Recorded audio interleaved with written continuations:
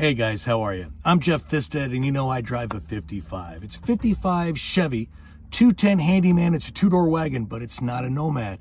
And I get the question all the time, well, I thought it was, aren't all two doors Nomads? No, they are not. And as conveniently, so we have, we got a Nomad right here. So here's the 55. It's a 210.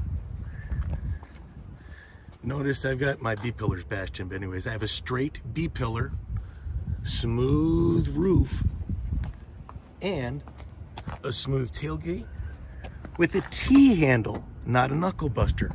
Nomads have seven ribs on the tailgate. The knuckle buster handle, they've also got nine ribs on the roof, and notice the slanted B-pillar right there. Nomad windows slide back, my window rolls down. So there you have it in a nutshell. 55 Nomad, 55 210. Bel Air, 210.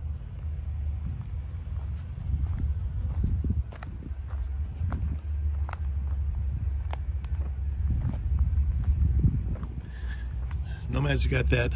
They also have the eyebrow chrome all the way down.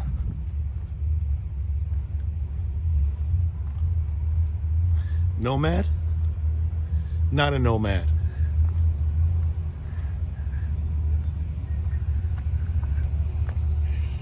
Check it out, idrivea55.com.